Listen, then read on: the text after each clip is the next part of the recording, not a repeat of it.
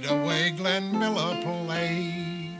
Songs that made the hit parade. Guys like us, we had it made. Those, Those were, were the days. days.